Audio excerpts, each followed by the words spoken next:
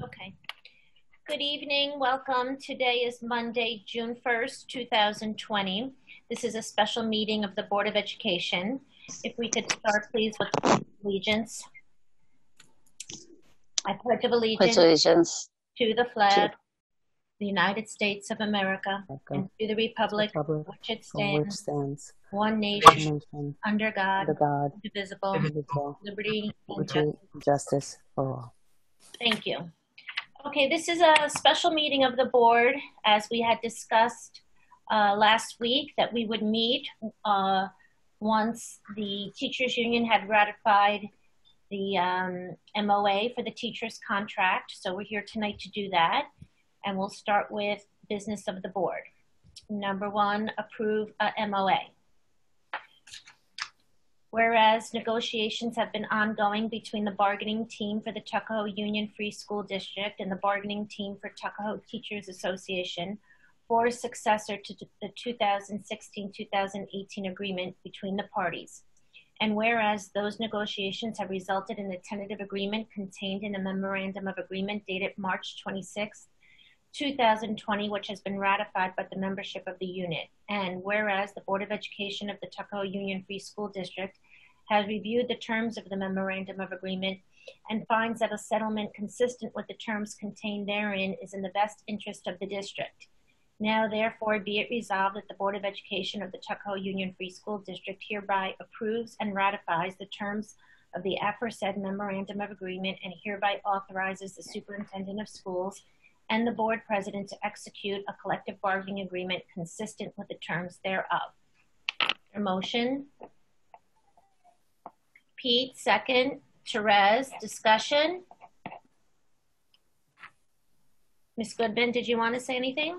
Yes, I would. Thank you very much. First of all, um, I am very proud of the teachers of our district. I think if the pandemic taught us anything, it's how important a teacher in every classroom, an excellent teacher in every classroom, means to all our students. Um, in my short time in Tuckahoe, what I've seen in our teachers is that they are not only caring and supportive, they also have wonderful skills to meet the needs of all our students. And we're just going to go further with that. So, congratulations um, to the teachers for ratifying the agreement. And I'm hoping for a very long time working with all of you. Excellent work, and we appreciate what you've done. Thank you. Agreed. And we also, as a board, are very happy this evening to put this forward. Um, it has been a, um, you know, an, an unknown uh, future fiscally, but we do believe that the agreement um, protects the district. At the same time, um, it uh, commends the teachers and rewards them for their work and uh, dedication to our students. So I believe that it's a fair agreement and happy to do this this evening. Anybody else? All in favor? Number two, adopt a revised calendar. Resolve that the Board of Education of the Tuckahoe Union Free School District hereby adopts a revised 2019-2020 school calendar dated June 1st, 2020, which is subject to further revision as may be required due to any directives and or executive orders issued by the governor and or the state education department. Is there a motion? Cynthia, second. Therese, discussion? Ms. Goodman? Yes, I wanted to talk uh, a little bit about the calendar again, as I did at our last meeting. So we really, I, Dr. Linehan, myself, and the team over at the high school with the parents and the students have gone through all kinds of renditions for the 12th grade graduation. We understand that this is very painful for this class. You know, it's their last time in Tuckahoe and they love the district and we care, everybody cares so greatly for this class. It's a wonderful class. So what we came up with was for the 15th is the last day of school, but the 15th, 16th, and 17th is the graduation for our students. We are doing an in-person graduation, one of the few high schools in the county that I know of. Who is, most high schools are doing drive-bys, uh, drive-ins, drive-bys, or virtual. We've decided that every student deserves to have the traditional high school graduation that Tuckahoe gives, which is from all I've heard, um, really outstanding. So students will get to walk under the flowers. They'll have the rose ceremony with their parents. Uh, their parents will walk with them, which is different. Um, when they come up the stairs of the high school, they will hear um, something about them and they will be bestowed the diploma by myself and by uh, Dr. Linehan. We will have a videographer that will be live. We'll have two. We'll have live streaming so that anybody who wants to watch is 15 hours, three days of that, they can watch it live or they know that their friends or family are graduating.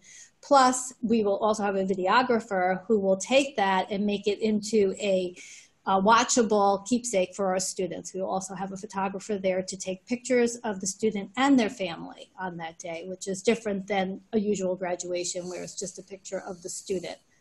Um, additionally, we are looking at right now, you know, it's always a changing landscape of having, allowing uh, not up to nine people, because we've heard that some families have not been able to make a you know choice between grandparents or they may have more students in the family than fits into a regular car so up to two cars.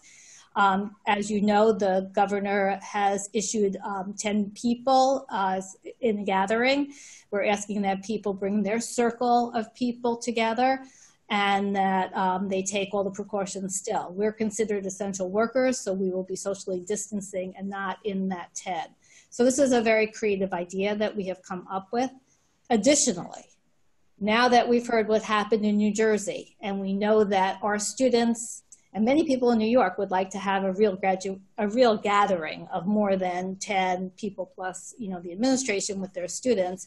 If we are able to in July, if it's issued that we can have a graduation or a, another com- another graduation, let's say, uh, or some kind of a gathering where everybody can uh, recognize our wonderful class, we will do that in July too. So we don't want anybody to feel that we're rushing into just doing this to get it done. We feel our students need closure, um, that this is, they've come through so many years of Tuckahoe and they're a hardworking, caring class and their parents love them and should celebrate this with them at the end of the school year, which is June 15th. We're spreading it over three days so that we can socially distance and do this appropriately. But again, if we have so, if we're able to in July, we will do that too. So we're watching carefully what the governor says. As you know, it's a changing landscape day by day. Um, our understanding of the pandemic and what our state officials say that we can do, and our and our local officials. I'd also like to thank again the Eastchester Police uh, Department. They've been wonderful. Um, Mr. Calavita has been very supportive and really working this out with us. Not everybody has a town or a police force that can work this out and they've done that for all our graduations. We're moving up. So I would also like to thank them. And we do have great senior class advisors who have helped us throughout the way. There's been many celebrations for this class and for all our students, and we will continue to do that. Thank you. Okay. And I want to also thank the board for all your support. I know it's been a changing landscape for you too, and I appreciate thank that. You. I just want to add that I, I uh, appreciate all that's being done. I'm sure that the uh, seniors, the students, and their families are appreciative to hear that we are still open to a July date if we can make that happen. I think it's really something that is so special about our school. Uh, graduation really is historically such a beautiful ceremony that we put on, very unique ceremony. And I think it just really says something about our students and the way they um, bond their friendships with each other, the smallness of our district. They really personally all do know each other and are close. And the way you see, I've seen it with my own kids, and year after year, I see it with the student class, the senior class, when they graduate, how the class really comes together that senior year. And uh, graduation really is a very meaningful ceremony. So um, we appreciate that we can do this for them and they will have something very memorable with their families on the 15th and 16th and 17th of June. And the open possibility of having something in July is very appreciative. So we, we thank you for that as well. Anybody else? I'll, I'll just say that, you know, I, I think it's, it's the right plan and I'm, you know, very happy that you've um, come up with this. I think it's really intimate and I think it's really shows how much we, we value it and I do think it makes sense to do something right away.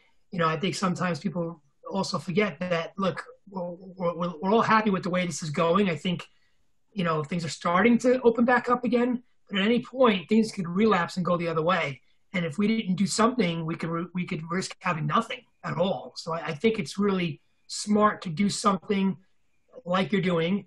And then I think it's also commendable that you're also being flexible to do something in July if that's possible. So it's really the best of both worlds, and and I think it's great. I just want to also say that you know we're not going to participate in this event on the 15th, in the 16th, and the 17th of board. And um, typically we are there at the graduations. Um, I think we all enjoy them. I think they're they're fantastic. But um, anybody who's watching this should know that you know our absence is not because we don't we don't care or we don't we don't want to be there. We just don't want to take up a slot. Um, we want to make sure that the, the families are able to bring as many people as they want. I think from the administration standpoint, we're the least important. Obviously, uh, the superintendent and, and the um, principal is most important. So we we are not going to be there just because we don't want to take up a slot that could be used by a family member. But please don't uh, you know interpret that as being that we don't care. We don't want to be there. Um, and certainly, if there's something in July, I'm sure we'll all be there for that. So I'm sure it's going to be great, and I'm sure everybody's going to love it. So thank you. Thank you, Pete. Okay, all in favor? Okay. Uh, Michelle, I just wanted to say one more thing because I think Pete really hit the nail on the head. Um, we really want to make sure that we have something. We have seen things, again, I want to say change so quickly, and that's the reason why we're doing it. Some people were wondering why we don't just wait till July. We risk a lot by waiting till July. So I just wanted to. Right. And I did also just want to publicly say that the calendar that's being adopted this evening, the change is the addition of the graduation dates. That school, the last day of classes still will be um, June 15th correct? So we just don't want anyone to think that there's been a change in the school year, that the calendar is being changed this evening to accommodate for the graduation ceremony. All in favor? Thank you. Okay. And we are going to now adjourn the meeting. Motion to adjourn the meeting. Peter, second. Laura, discussion. All in favor? Okay. Uh, we will see you again next week on June 10th. Um, between now and June 10th, we do ask that everyone um, exercise their right to vote. The ballots have been mailed and have been received, and as a reminder, are due back. Uh, must be received to the district clerk by Monday. Um, I'm sorry, is it Monday? No. Tuesday. Tuesday. Tuesday, June 9th at 5 p.m. Tuesday, June 9th at 5 p.m. I just want to say one thing too. Um, tomorrow I will send out some information about voting, answering some questions. We are moving the uh, the mail, the lockbox, uh, mailbox, the Dropbox outside. That's outside Cottle to inside Cottle. We feel that it'll be better protective from all the elements. Uh, so uh, we'll give you the times when Cottle will be open. Um, we have security there so that you could drop off your vote if you're not mailing it in to inside the building. Okay, great. Make sure you sign your envelopes. Sign your envelope. I have. Don't sign your envelope, your vote doesn't count. Make sure you sign. Thank you, Pete. Okay, all in favor? I think we already did it, but we'll do it again. Thank you, and we will see you on June 10th. Thank you. Thank you. Be well. Bye-bye.